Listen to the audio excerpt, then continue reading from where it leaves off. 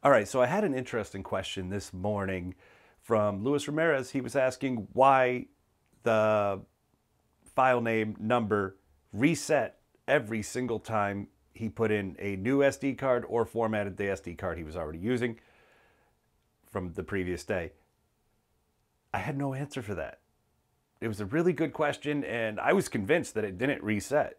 And did I thought you just changed it over to series and you were good to go in the file in the menu setting, but I was wrong. And the reason I was the reason I didn't realize or I didn't know that I was wrong was because I have a method of importing, and I'm going to show you that right now. The way I import video files from my SD cards, and it all starts with something really basic. The way I do it, I start by labeling my SD cards, and I'll show you what that looks like right now.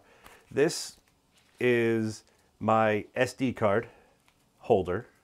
It's a little think tank I love it. I had the big cases and the waterproof ones and all that kind of stuff, but this one I really, really like.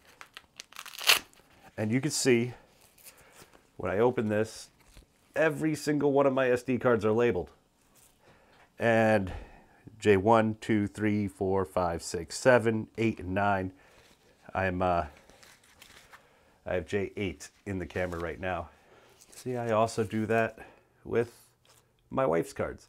So these ones uh, are P. I use the J for John and P for Paulette. We also use different brand SD cards because we're both shooting a lot. So, you know, P1, 2, 3, 4, 5, 6. Uh, she has six SD cards. I have nine of them, uh, plus tons of other things. Anyway, we both really, really like these Think Tank things. Import each card daily. So I'm going to circle that and underlight it twice. When you shoot, you should be importing daily. Um, three, use external drives. So you should always be using external drives when you import. Now, keeping these three things in mind, let's head over to the computer and I'll show you exactly how I import them. Now we're going to open up that card. And we're going to open up the video clips and you should know how to do this on your camera already. On Sony's, it's weird. So, we're going to go into here, and on a Mac, it's in thumbnail view, which is cool. We have, for each video clip, we have the thumbnail, or we have the actual video file right here, and we have an XML file that comes along with these. Uh, we don't really care about the XML files so I'm going to go into, so I don't want to rename them. I don't care about those at all. So what I want to do is go into list view, like this, and I'm going to sort them by kind, by just selecting kind. And you'll see that all the videos, all these files are on the top, and all the XMLs are on the bottom. We don't care, like I said, we don't care about the XMLs. You're going to click on the first video, and then shift click on the last video, right click, and we're going to go into rename 30 items. click on that. And so it's going to give you some options. First option is replace text. And what that does is you type in the name of the text you want to replace, and it will replace it with whatever you want to replace it with. Then add text so you could add text before or after the name.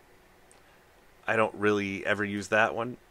I just want to get rid of that in-camera name to begin with. Or you can go to format.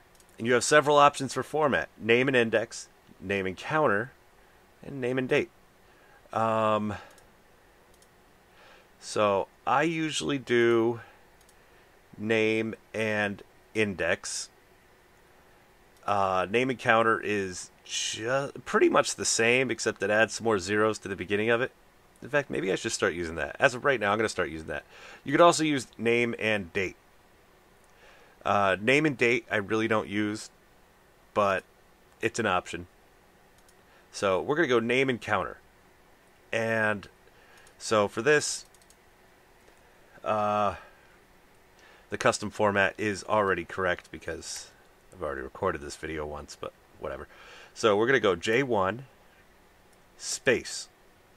Or if you're on a PC, you want to use underscore or whatever, um, so you can keep a convention. So J1 is the name of my card, underscore. Then you're going to add a couple keywords that identify what this footage is about.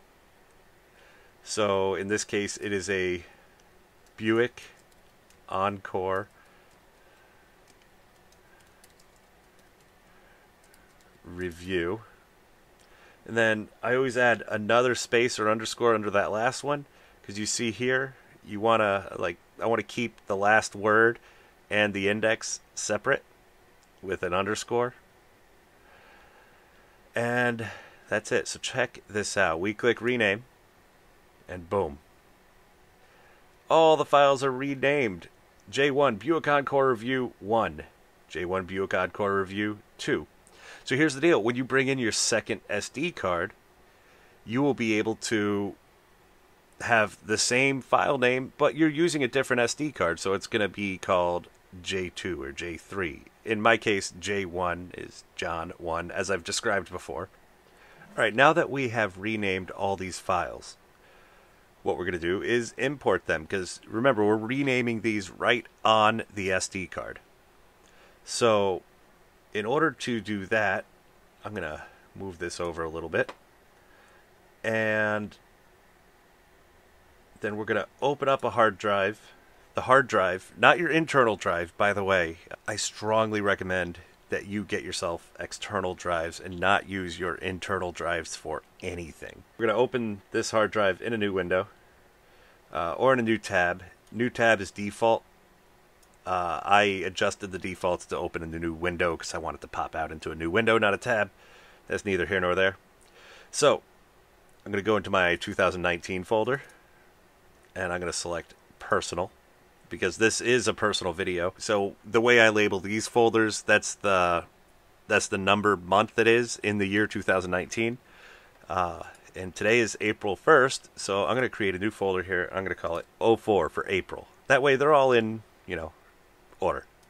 Double click on that. And I'm going to create a new folder.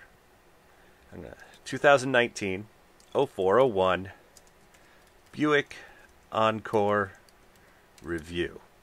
Buick Encore review.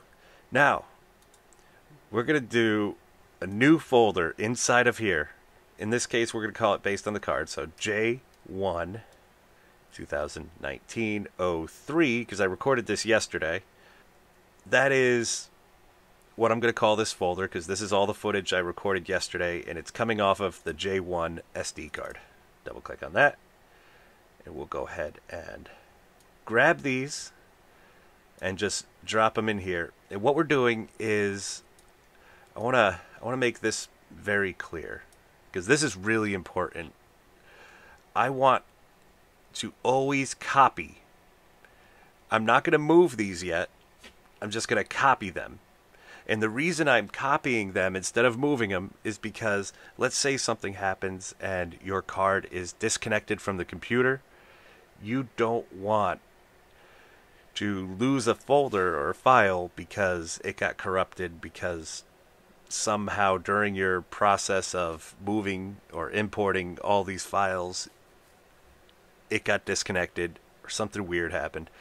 Uh, if you just copy it well it's not actually moving or changing anything on the original card. If you're moving it then it is. It's taking it off the original card and putting it onto the drive. So i want to leave it there for now and i will reformat that card in camera. I never ever delete things from the card from the computer. You always format from your camera. Super important for more than just those reasons. Could be about a minute left, but for the purposes of this video, we're done.